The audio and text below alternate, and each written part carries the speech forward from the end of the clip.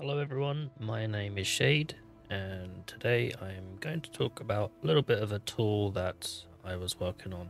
But first, here is my uh, Affliction League character. It is um, currently a level 98 chieftain called the Duck Iffy. I don't really know why it's called that, but there you go. It's uh, pretty straightforward. The um, very popular at the moment, Explody Fulcrum MF Finder character. I've had a lot of success on this. Uh, Abysses are obviously the uh, current strat, but um, I'm getting a little bit bored of it if I'm being honest. Uh, but I was able to uh, just go and buy a, a, Mageblood and, and some other bits. I know you can use Bisco's, and I was predominantly using that, but I ended up just switching for this for because it's better. Anyway, it, it, better in terms of quality of life, you know, constant speed and all of that stuff. But uh, my my gear is not even corrupted actually, but I do have um do have ninety percent, so uh, I don't need like the the level twenty one purity of fire. I don't need the uh, corrupted cloak of flame for it. But this is an interesting thing because I'm kind of probably going to work on getting those corruptions, getting the uh, extra maximum resistances from uh, the items, and then switching off all four of these four points. Which normally this is you know plus three fire res, so uh, you would you would take these. But if I'm already at ninety, I believe I can get the uh, that which was taken jewel, put it in one of these um, empty jewel sockets that I have, and then you know remove these, uh, get the two, get the corruption from that, get the corruption on this, and then get that which was taken jewel for the free maximum resistance that way. Uh, this will give me an extra four points to put in, say, an extra medium cluster jewel or something like that. So it'll be interesting to see if I can do that with the last couple level ups as well. In any case, I wanted to talk about the, Wildwood charms. Now, when I first started this league, I knew that the charms were going to be just absolutely amazing. But one thing that I, I didn't really anticipate was uh, how difficult it was to figure out which charms are particularly good for your build, other than the fact, you know, just choose the obvious sort of ascendancy kind of things. Choose stats that you already have, increase what you have, and so on. I mean, for this build, I'm actually just using the maximum fire resistance and not even the uh, the big, you know, one percent explosions because I feel like the five percent on its own from Chieftain is more than good enough. There it is. I feel like that's just fine. I don't need what it be eight, uh, potentially nine percent. I don't. I just don't need it, and it's so expensive to get that. So I just went for the two max fire res on these, and then I just started buffing the uh, endurance charges. And this one has. Um, I, I found this one. It was covered in ash, uh, which I thought yeah, why not? In any case, this is obvious, but I, before I made this character, I actually did a Iron Commander Deadeye, I think, and figured, well, what charm should I get for that build? You know, the main thing that I was looking at is, is this is generally what you you find. So you can also go to like PoEDB or whatever, and I believe Craft of Exile is working on charms. Um, still working on adding charms, textures, keep posted. Okay, so they're working on that. So that's I'm sure they'll do a great job. But this is this is kind of what I was doing. Let me zoom in a little bit for those who are potentially on a TV or something. So I would look at this page and you would say, okay, well here are the rules. Oh, you know what? Let's just give this guy a ring, huh? Things I do for 20C. Uh, he doesn't even want it. Story of Raid Life D&D. So the charms are unmodifiable, and according, assuming this is all correct, which it should be, the charms they're they're three types, and they align to an attribute. So Ursine is Strength, Lupine is dexterity, Corvine is intelligence. And those attributes align to the classes. So you have intelligence is Witch, Templar, Shadow, dexterity is Ranger, Duelist, and Shadow, and strength is Marauder, Duelist, Templar. Now, what this essentially means is that if you look at the spawn weights, you'll see that this is a strength, and it obviously aligns to the strength class. And if you go down, you'll get something like a dex animal charm, which obviously aligns to a dex class. Now this is a dex and strength, which means it can be either a Ursine or Lupine charm, which means it can mix classes from all of these six classes. Now this isn't particularly great in terms of, this page I mean, isn't particularly great at displaying what combinations of charms that you can have. Because what I was doing is, let's say I wanted banner skills have no reservation. This is a dex and strength, and of course this is a prefix because it is champions, not of the champion. So of the champion would be a suffix, so this is a prefix.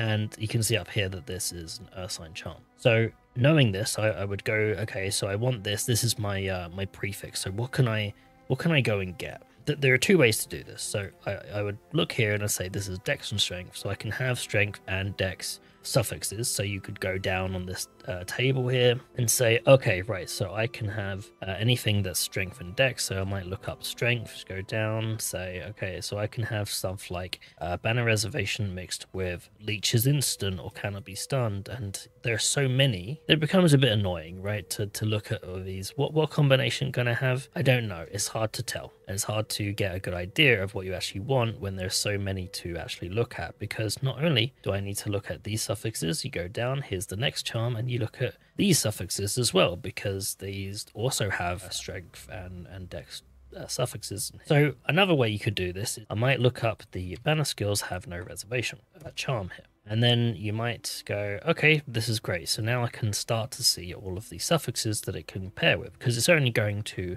show you those. Now I might put in something like uh, has a suffix modifier, right? And this would uh, then remove anything that doesn't have a suffix. So that would be banner reservation on its own, those are now gone. So I could start to see which ones can I can I have. And you might say, well, when you create a banner, you might have gain a life, but the downside of this is that it will show you the same one multiple times. It's not grouped in any way because it's just a trade site, obviously. It's going to show you all of them. But let's say, in addition to this, I want to actually filter out ones I didn't like. So let's say cannot be stunned by hits you block. So I'll do put in the not modifier and say cannot be stunned. So then I don't want to see that anymore, and you see that, that those ones are gone now. So and eventually you could whittle away at what you don't want, and then eventually you'll you'll see something that you actually really do want. And this is a good way of perhaps finding uh, an ideal charm if you if you're not sure what charm you can have. But this got me thinking, and because uh, Craft of Exile isn't updated with charms just yet, I thought I would uh, go ahead and make one uh, myself. And this was obviously done before I rolled into the MF character that needed very obvious charms. Regardless, I, I went and I went ahead and, and made this uh, tool here. So this is my uh, repository for any tool that I plan to make or have made in the past. I'm just going to put it into this one repository now. I did used to do it in uh, different ones, and I'm slowly kind of moving them all into one tool or one uh, URL in, instead, one repo. So at the moment, I've got two in here. I have my old Sentinel planner uh, from the uh, event that happened about a month ago or whatever it was. But I also have this new one that I've just finished today, or roughly uh, an hour ago, and I have this charm finder. Now, if you want to uh, give this a go, I'll put the link in the description and you can try it out. Do keep in mind that I believe it to be working currently uh, correctly, but if there are any bugs, just let me know. But either way, it's, it's a pretty neat little tool. So it works how you might expect, but the layout of the data is quite different to this page here, for example. So let's say we go back to the example I just did with the banner reservation. So I can type in banner and it will just um, make anything that isn't sort of matching this this text opaque. So we should be able to find uh, banner skills have uh, no reservation pretty quickly. And I'm pretty sure there are no other things related to banners in the prefixes. Yep, but there is uh, a couple suffixes, so that's maybe something you would consider. It's a really good way to just highlight, you know, let's say you wanted power charges, right? So now I can see there's uh, one, two, three mods there. There's a suffix. Oh, there's another prefix here in the occultist. It's a really good way to quickly find something related to uh, power charges. So let's just go back to banners for a second. So now what I can do is I can click on this modifier and instead it will it will clear the search field, but instead what it's doing now is that it's going to filter out any suffixes that cannot be used with this prefix combination. So you can't have a champions of the elementalist. It just doesn't exist in the framework of how the charms work. If go back to this wiki right here, you'll see that um, what did I select? So this is champions of the elementalists. So for example, the champion would be uh, strength only, I believe. So it's the it will always be an Ursine charm. So the Ursine charms can only work with Marauder, Duelist, and Templar, which means anything that's related to um, you know a witch or an intelligence only uh, charm or class, uh, it, it will be filtered out. Go down here, no necromancer, no occultist. There you go. But you'll notice as well that it will show things like the the the dex as well. So you can have of the assassin because it is also part dex. Now you notice here the champion is strength and dex, so anything that is strength and dex will show. The only thing they can't have is a combination of int only, so that rules out those three. But pretty much everything else is fair game. If I go to elusive effect, you'll notice now that we have a combination Charm will show down here based on the selection that we've done. So we've got Banner Skills Have No Reservation and Elusive Effect. And this will be a Champion's Lupine Charm of the Assassin. It might be, um, it might be, it will be either a Strength or Dex. So it could actually be Lupine or Ursine. But either way, if I click on Trade, it will go to the trade site and it will show me Banner Reservations and Elusive Effect. And you can see here that all of the filters have been pre-filled and then you can get an idea of you know roughly how much this might cost for you. Okay let's try this uh, again and what you can do is you can just click clear and it will go back to the start. Um, let's say i wanted the uh, fire resistance one right? There's a chief down here. What i'm going to do is do uh, suffixes to begin with this time. So previously i did a prefix. Now i'm just going to select a suffix and you'll see that this is strength. So it's going to match any strength nodes but not dex only. So nothing, you can't have Deadeye. Uh, you cannot have uh, assassins here because this is uh, an int class. You cannot have necro, occultist, pathfinder, raider, saboteur, uh, trickster. Can't do that. But you can have like endurance. I mean, the the really insane one would be, of course, the explodey. So this would be the the uh, the ideal one for my build, but this is crazy expensive. So there we go. This is the 1% uh, max fire, and that's already 214 divine. But you get the idea of how the tool works. Clear that. We can do it either way, so you can choose a prefix first or a suffix first. It doesn't really matter. It won't let you choose a combination that will not be available on trade. So it doesn't really matter what I click here. It should always find the charm based on your selection. But there you go. So that's my, my little tool. I don't know if this will help anyone, but if it does, please uh, give me some comments about it and I'd really love to to hear any feedback for it. There is one thing that I would like to preface at the moment. I think if you look at something like elusive effect, for example, or the fortify, it goes from 5 to 10 and 11 to 20. Now, a thing to note about the trade site is that these two stat IDs actually have the same internal ID, which means that if I click here and I click trade, um, you'll notice that it will just be uh, suffix 2 or tier 2. Um, and this is because I haven't yet done the minimum value values for these modifiers, and that is the only thing that actually dictates whether it is is tier one or tier two, for example. But that that stat is the has the